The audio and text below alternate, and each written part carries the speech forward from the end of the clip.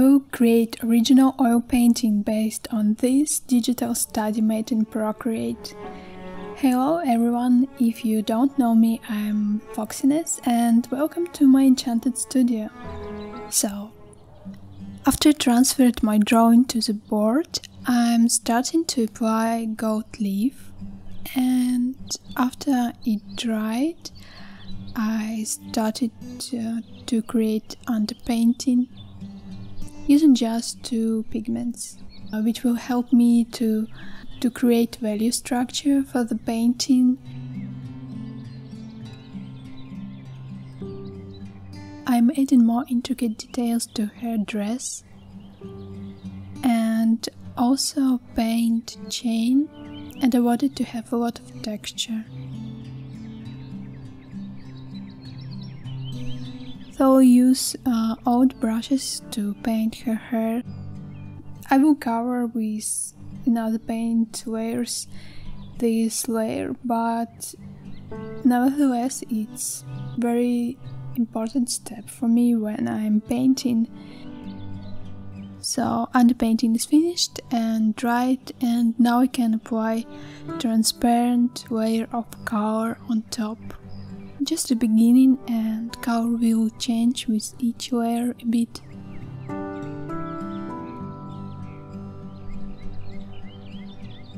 And when I move to her face, I'm working in small areas and try to catch value and hues in her face.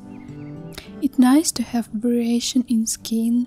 Some parts need to be more saturated and another one more grayed. It's probably second uh, session of painting I'm correcting values in her face to make it look more 3D.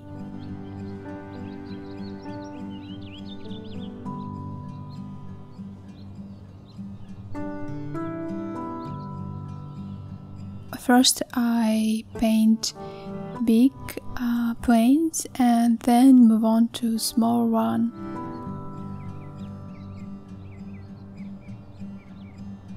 I really love to paint hair. It can give a lot of dynamic to a character and even help to convey emotional state. Now I paint stars and the night sky will take me a few layers to paint. Basically I paint stars, then I wear another transparent layer of blue pigment and repeat it again so it will create um, really beautiful effect of depth and it will not look very contrasty. I really love uh, the effect which texture gives in hair. It's very beautiful and I want to uh, use it more in my next paintings. Basically, with each layer, you add more and more details, and it is very important to add those details on good base. So, you probably need to spend more time on your first layer or first two layers, and then everything will go very smoothly.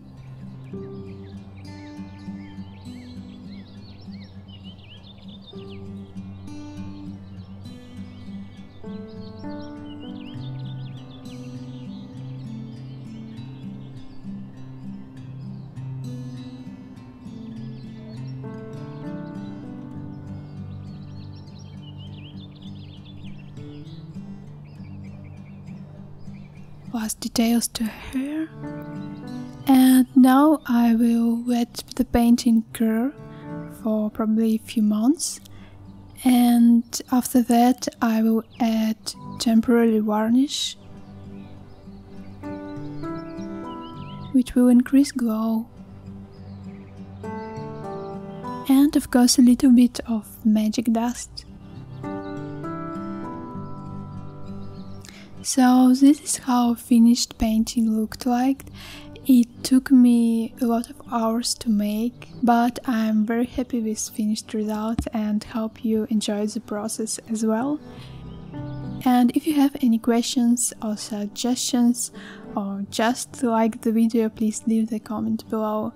And of course, subscribe and ring the bell. And see you in next episode. Bye bye.